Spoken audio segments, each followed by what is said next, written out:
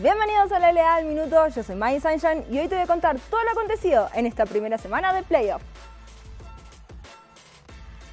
Arrancó la fase eliminatoria donde nos brindó un par de duelos épicos. Sis Karma disparó primero contra el siempre favorito, Estral, demostrando que las águilas no pudieron tomar vuelo esta vez. Sin embargo, la fortuna no solo sonrió a la ola verde, pues Movistar R7 e Isurus nos brindó una de las series más parejas en la historia de la LLA, donde el arco iris logró la victoria con un CEO determinante y un Mireu desatado. Con estos resultados, Six Karma enfrentará a Movistar R7 en la llave superior, mientras que el tiburón deberá esperar al ganador entre Infinity y All Knights por la llave inferior.